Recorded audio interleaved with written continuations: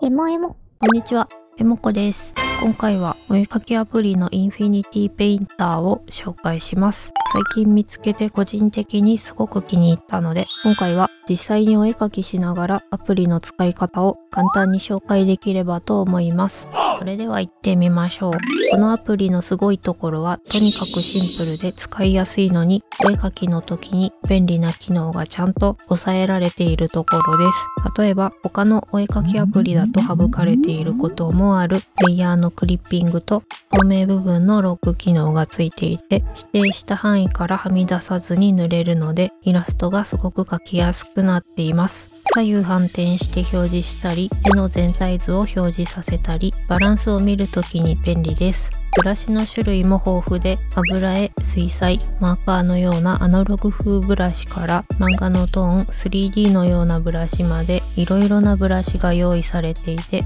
筆のかすれ具合や濃淡なども自分好みに細かく調整できるので、絵を描いていてすごく楽しいです。お絵かきの工程を記録できるタイムラプス機能もあって、後で作業工程を見返したり、メイキング動画を作れるのも嬉しいです。イラストを描く以外にグッズや壁紙作りに使えそうなパターンも簡単に作ることができます。このアプリは iPhone、iPad、Android、パソコンで無料でダウンロードできます。すべての機能を使うにはプロへアップグレードが必要ですが、無料版でもレイヤー枚数の制限が気にならなければ十分使えると思います。私は気に入ったのでプロを購入しました。リンクは概要欄に書いておきます。今回は iPad 版を使います。メイキングを再生しながらお絵描き画面などの説明をしていきます。左上はアプリのホーム画面に戻るボタン。左側の黒いところは上からブラシ、ぼかし、消しゴム、ブラシサイズ、色、不透明度です。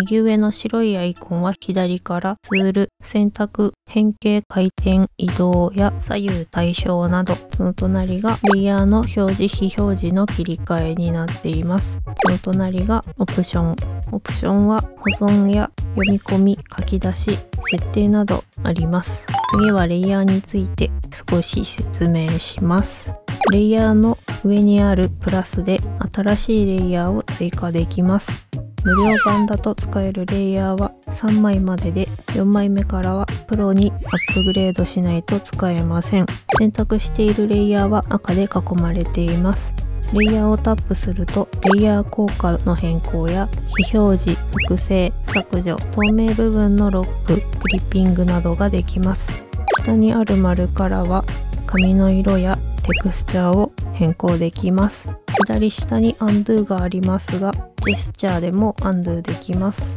まとめてジェスチャーについて紹介します。Undo が指2本のタップで Redo が指3本のタップ。ブラシサイズの変更は指3本で上下にスワイプ。ブラシの不透明度は指3本で左右にスワイプ。インターフェースを隠すのは指4本でタップです。スポイトは色の丸を長押しして指を画面につけたまま選びたい色のところまで移動してから指を離します。私はこの操作が面倒だったのでプロクリエイトと同じように画面を長押しでスポイトできるように設定を変更しました。ダブルタップ長押し指のジェスチャーは変更できます。カラーサークルは取り出して好きな場所に置いたり表示サイズを大きくしたり小さくしたりできます。ちょっと他のアプリにはない機能なので感動しました。このカラーサークルと同じようにナビゲーターという絵の全体を表示する機能も好きな場所に移動させたり拡大縮小回転できて面白いです。この絵では使っていませんが絵を拡大して描くときに使うとバランスを見ることができて良さそうです。ナビゲーターはツールの中にあります。右上のオプションにある読み込むも便利です。写真カメラファイル検索するの4つから読み込めます。線画や素材画像トレースする写真はレイヤーで資料はレファランスで読み込みます。このレファランスがまたナビゲーターと同じように好きな場所に移動させたり拡大縮小できて面白いので気に入っています。検索するを使ってみると Pixabay というサイトの著作権フリーの綺麗な写真がたくさん表示されます。模写やトレースして使う場合には検索画面の下にあるバナーから念のため利用規約を確認した方がいいかなと思います。レファランスの画像がいらなくなったら選択して中央の×のところへ移動させると消えます。今使っているペンは Apple Pencil ですが筆圧やペンを傾けた時の線の出方などがリアルで鉛筆の書き心地がすごくいいです。ブラシはそのままで使っても十分楽しいのですがちょっと惜しいと思ったらブラシの調整がかなり細かくできます。書き出しは Ring、JPEG、PSD 形式で書き出せます。PSD で保存したデータを他のソフトで開いてみましたが、ちゃんとレイヤーが分かれた状態で保存されていました。保存した絵はアプリのホーム画面に表示されますが整理したい場合にはフォルダに移動して右上のここをタップすると新しいフォルダを作ることができます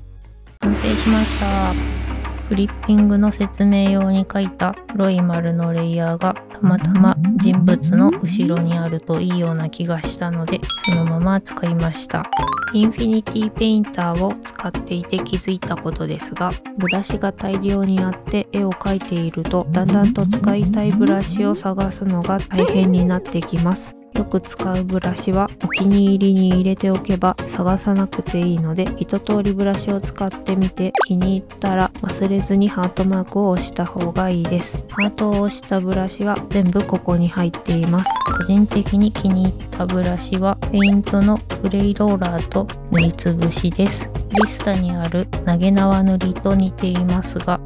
感があったり音風だったりします。詳しい使い方はアプリのホーム画面のキラキラのタブからリファレンスマニュアルという534ページもある超充実した説明書が用意されているので使い方で困ったらチェックしてみてください。このアプリは日本だとあまり使っている人を見かけなくてレビュー評価もすごく高いわけではないので今まで見落としていたのですが実際に使ってみたらすごく良かったので皆さんもぜひ使ってみてください。先日お絵かきアプリ10選という動画でいろんなお絵かきアプリを紹介しているので気になる人はそちらも見てみてください。お絵かきアプリはそれぞれ個性や特徴があって人によって合う合わないがあると思うので気になるアプリは実際に使って自分に合うお絵かきアプリを見つけてください。他にも紹介したい紙アプリがたくさんあるので気になる人はチャンネル登録してお待ちください。この動画が参考になった人はチャンネル登録や高評価コメントなどしてもらえると動画を作る励みになるのでよろしくお願いします。ご視聴ありがとうございました。